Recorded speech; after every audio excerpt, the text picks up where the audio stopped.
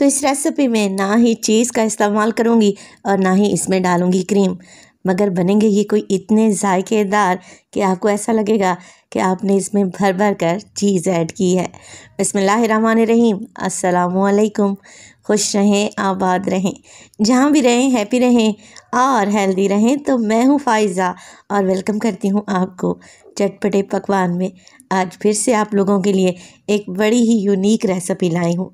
आज मैं बनाने जा रही हूँ चिकन नूडल्स कबाब बहुत बहुत टेस्टी बनते हैं। जायके में तो इनका जवाब नहीं। तो रेसिपी को एंड तक देखें, अच्छी लगे तो लाइक भी कर दें। तो चलें फिर रेसिपी स्टार्ट कर लेते हैं। तो ये टेस्टी चिकन नूडल्स कबाब बनाने के लिए सबसे पहले तो एक फ्राइंग पैन में डाला है मैंने तकरीबन दो टेबल स्पून के करीब मक्खन। मक्खन के साथ ही मैं डालूँगी एक टेबल स्पून कुकिंग ऑयल। इससे क्या होगा, बटर जलेगा नहीं। चलें जी, जैसे ही बटर गर्म हो जाए, आप इसमें डाल दें चार टेबल स्पून के करीब मैदा या फिर एक चौथाई कप मैदा आप लोगों ने शामिल कर देना है। अब मैदे को मिक्स करते हुए मैं भून लूँगी। मैदे को भूनना बहुत ही ज़रूरी है, क्योंकि अगर इसे नहीं भूनेंगे तो इसका कच्चापन रह जाएगा। मगर मैदे को ना ही कोई कलर देना है और ना ही इसकी ज़्यादा भुनाई करनी है। बस दो से तीन मिनट के लिए बिल्कुल लो फ्लेम पे इसे भूनें। जैसे ही आपको अच्छी सी खुशबू आने लगे ना, आप इसमें डाल दें एक कप भर के दूध का। अब ये नॉर्मल साइज़ का कप है, जिसमें हम रोज़मर्रा में चाय पीते हैं। दूध उबला हुआ और ठंडा इस्तेमाल कर रही हूँ। अच्छा दूध डालने के बाद फ्लेम को बिल्कुल ज़ीरो फ्लेम पे ले आएँ।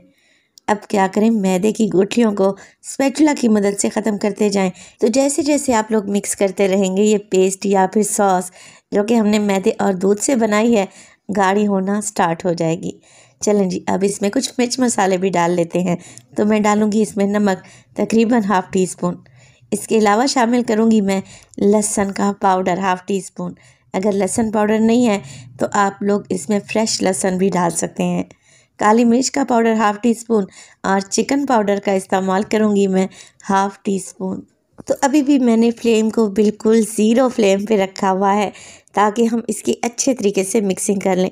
जैसे जैसे आप लोग मिर्च मसालों को मिक्स करेंगे ना ये डो की शेप में आता जाएगा, यानी कि इकट्ठा होना स्टार्ट हो जाएगा और पेंदे को छोड़ देगा। बस यही निशानी है इस बात की कि हमारी ये परफेक्ट सी पेस्ट या फिर सॉस एकदम तैयार है, इसे इतना ही गाढ़ा रखेंगे। चलें जी, अब फ्लेम को ऑफ़ कर दें और इसे एक बोल में निकाल लें। स्पैचुला की मदद से इसे हल्का सा फैला देंगे ताकि ये जल्दी से रूम टेम्परेचर पे आ जाए। तो जैसे ही हमारी ये टो या सॉस रूम टेम्परेचर पे आएगी, आप इसमें डाल दें एक टेबल स्पून के करीब सोया सॉस का। एक टेबल स्पून ही मैं इसमें शामिल करूँगी चिली सॉस। अच्छा जी, अब आ जाती है चिकन की बारी। तो चिकन लिया है मैंने तकरीबन डेढ़ कप के बराबर उबला हुआ स्ट्रेट किया हुआ। और अगर वज़न में देखें तो तकरीबन तीन सौ ग्राम के बराबर ये चिकन होगा। बॉईल करते वक्त मैंने इसमें हल्का सा नमक डालकर बॉईल कर लिया था। चिकन के साथ ही मैं ऐड कर दूँगी नूडल्स, क्योंकि बन रहे हैं मज़ेदार से चिकन नूडल्स कबाब। तो ये इंस्टेंट नूडल हैं, जो अक्सर हम बच्चों को बना कर देते हैं। नूडल्स को बॉयल करें। बॉयल करने के बाद छान लें और हल्का सा ऑयल लगा कर रखें, ताकि आपस में चिपके नहीं।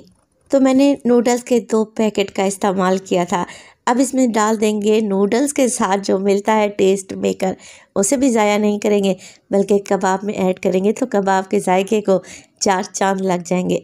अच्छा फ्लेवर मैं यहाँ पर नूडल्स का चटपटा इस्तेमाल कर रही हूँ। डालेंगे इसमें ढेर सारा हरा धनिया और बारीक कटी हुई हरी मिर्चें, एक टेबल स्पून अगर बच्चों के लिए बना रहे हैं तो फिर हरी मिर्च को स्किप भी कर सकते हैं। तो बस जी, अब कुछ भी नहीं करना आप लोगों ने। अगर आप लोगों के हाथ अच्छे तरीके से धुले हुए हैं और आपके नाखून कटे हुए हैं तो हाथों से अच्छे तरीके से मिक्सिंग करें।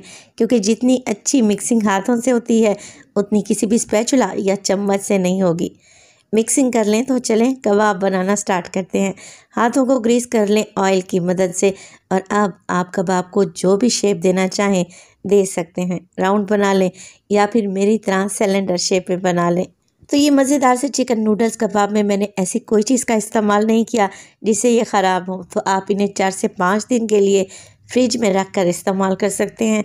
और फ्रीज़ करना चाहें तो हाफ़ डन करके इन्हें फ्रीज़ करें। आगे चलकर मैं आपको बताती हूँ कि आप इन्हें किस स्टेज पर फ्रीज़ कर सकते हैं।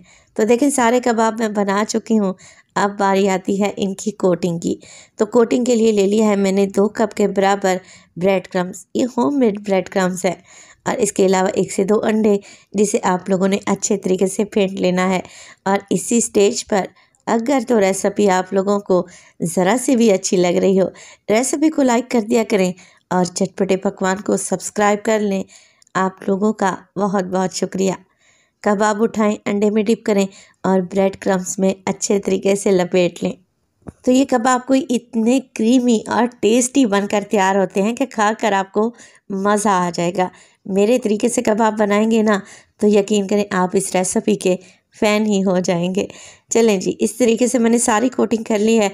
अब इस स्टेज पर आप लोग इन्हें फ्रिज में रख कर तकरीबन चार से पाँच दिन के लिए इस्तेमाल कर सकते हैं।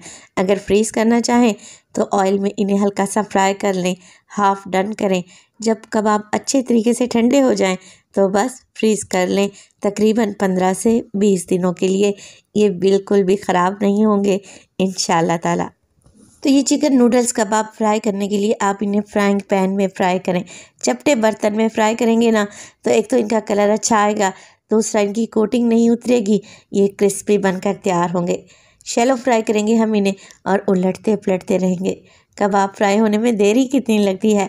दोनों साइडों से अच्छा सा कलर आ जाए तो बस जी निकाल लेते हैं इन्हें और गर्मा गर्म सर्व करें केचप या फिर हरी चटनी के साथ। आप ये क्रीमी कबाब बनाकर बच्चों के लंच बॉक्स में दें। यकीन करें, वो चीज़ के कबाब समझ कर चट कर जाएँगे। तो लग रहे हैं ना टेस्टी आप भी बनाएँ और अपना फीडबैक दें कि आपको मेरी रेसिपीज़ कैसी लग रही हैं और मज़ीद आप लोग क्या देखना चाह रहे हैं। तो मैं आपको तोड़ कर दिखाती हूँ। ऊपर से क्रिस्पी अंदर से एकदम क्रीमी और टेस्टी कबाब आप लोग जब खाएँगे ना तो खाते ही रह जाएँगे। अपना बहुत सारा ख्याल रखिएगा। फ़ाइज़ा को अपनी दुआओं में याद रखिएगा। मुझे दीजिए इजाज़त।